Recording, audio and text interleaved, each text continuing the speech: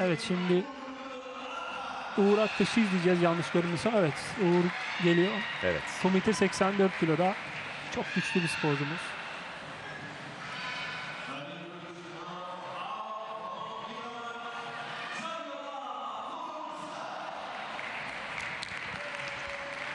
Evet şu anda da Murat Hoca ile Federasyon Başkanımız Esat Belasan da ekranda şu anda. Tabii Federasyon Başkanımız ekranda göründüğü gibi yerinde duramıyor. Genel olarak da öyle çünkü Evet. hala sporcu ruhu kendisinde mevcut. Bunu yan yanayken daha net görüyorsunuz. Ekrana yansıyan kısımda da gerçekten gördüğünüz kendine bir meşgale bulmuş. Yani sporculuğu itibariyle zaten başarılı bir isim. Bunu antrenörlüğe, daha sonra milli takım seviyesine ve federasyon başkanlığı seviyesine taşımış bir isim.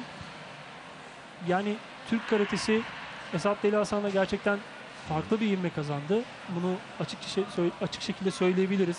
Zaten camianın içinden gelen bu sporun hani tabiri caizse o tataminin tozunu yutmuş bir isim.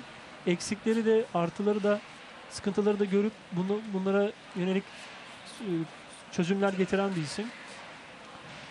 Bugün geldiği noktada 2008'de başkanlığa seçildiğinde 60 bin 70 bin civarı olan lisans sporcu sayısı bugün 250 binlere ulaşmış durumda. Zaten zaman zaman konuştuğumuzda da şunu söylüyor. e, önemli olan karateyi anlatmak değil doğru anlatmak. Biz bunun için çaba gösteriyoruz. Hı hı. Zaten bir başarımız var ama doğru anlatamadıktan sonra bu başarıyı hiçbir şekilde bizim branşımız tercih edilmez diyor. Felsefesi bu. İkinci bir e, ikinci bir düşüncesi de şu. Başarılı olmak kadar o başarıyı sürdürülebilir kılmak da önemli. Bunu da her fırsatta zaten röportajlarında, basın toplantılarında dile getiren dile getiriyor Federasyon Başkanı Esat Beyli Hasan. Haydi Uğur Aktaş diyoruz o zaman. Evet Uğur Aktaş 1-0 geride şu anda. Rakibi Purşap, İranlı. Aslında bu ikiliyi İstanbul'da da üçüncülük finalinde görmemiz gerekiyordu ama Uğur Aktaş Premier Lig'in İstanbul etabında üçüncülük finaline kaldı. Sakatlığından dolayı müsabakaya çıkmadı. Yani aslında riske etmedi. Orada da rakibi yine Purşap'tı Uğur'un. Rakibi Uğur'a göre tabii tecrübeli, kuvvetli. Müsabakada şu an geride kalan sürede önde götürüyor.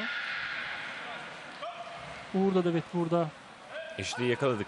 rakibinin gardını yani zaf- gafil avladığında puanı aldığı hanesine yazdırdı. Yani yaş itibariyle genç Hı hı. ama sanki yıllardır karate yapıyormuş gibi yani tecrübesi tecrübeli olduğunu tatamaya yansıtıyor. Bakın burada da rakibinin atağını savuşturup puan almak için atak geliştirdi ama tabi hakemler aynı görüşte değil. Ancak Murat Deli Hasan itiraz etti şu anda. Video hakemde bakılacak.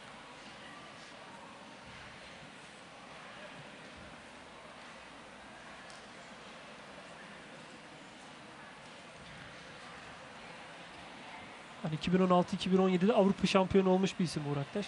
95 doğumlu. 2015'te de 21 yaş altında dünya şampiyonu oldu Endonezya'da. Neredeyse tüm müsabakalarında böyle çok farklı skorlarla kazana kazana finale kadar geldi.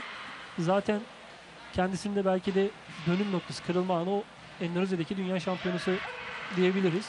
O günden sonra o yakaladığı e, başarı yani zirveye çıkışını korumaya başardı. 2016-2017'de büyüklerde Avrupa şampiyonu oldu. 2015'te İstanbul'da üçüncülüğü var.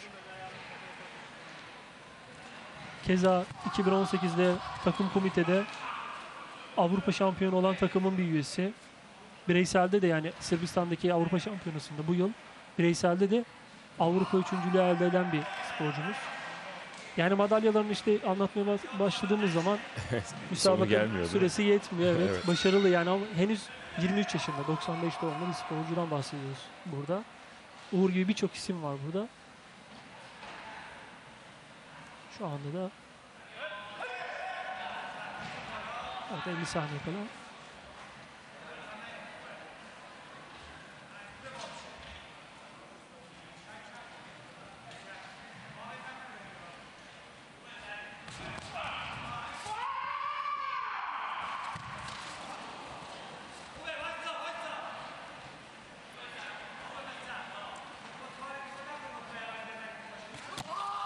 Evet burada bir iki puan yaladığımız bir tekniği oldu ama hakemler aynı görüşte değil.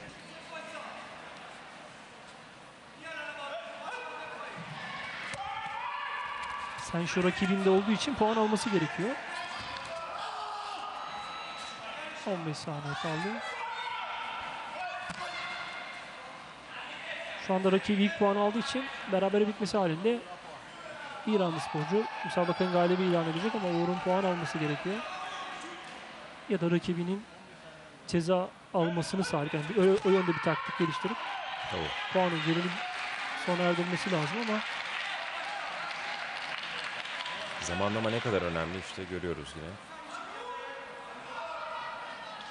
evet karatede patlayıcı kuvvet çok önemli. Bu noktada hareketin hızı, doğruluğu, tekniğin düzgünlüğü çok ön planda.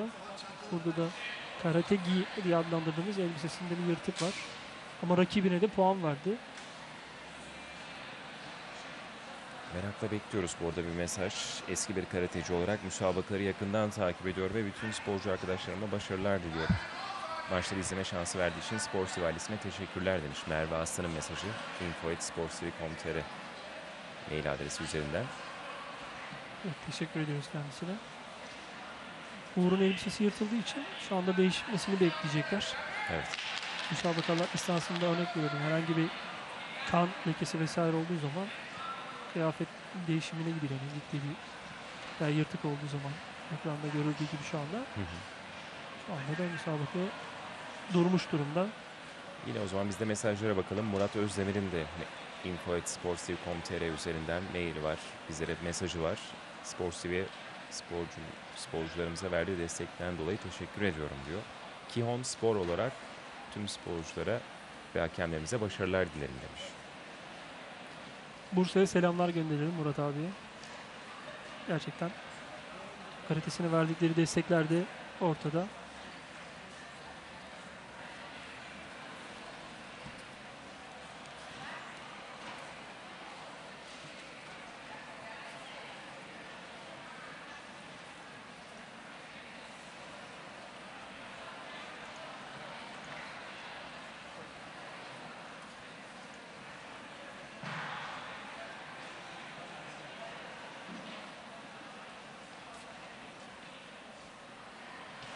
Evet, kıyafet değişimini tamamladı.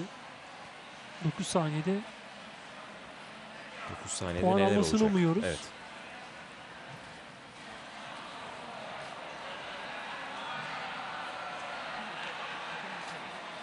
Evet, o esnada ekrana gelmedi ama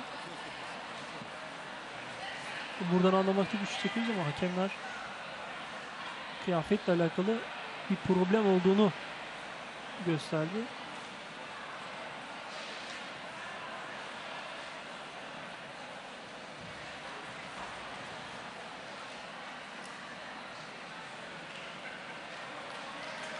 Talihsizlik diyelim yani bu anlarda bir final müsabakası, madalya mücadelesi hem de 2-1 geride.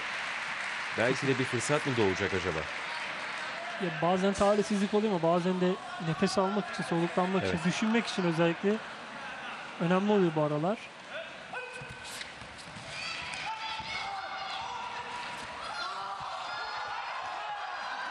Evet, Uğur iki kez denedi. Yani Evet. 3 puan olarak adlandırdığımız tekne denedi. Evet şu anda rakibin 3. cezayı verdi ama geride. Olabilir mi? Şimdi hakemleri net göremediğimiz için bir şey de söyleyemiyoruz ama zannediyorsam puan verilmedi. Bayrak da kalkmadı.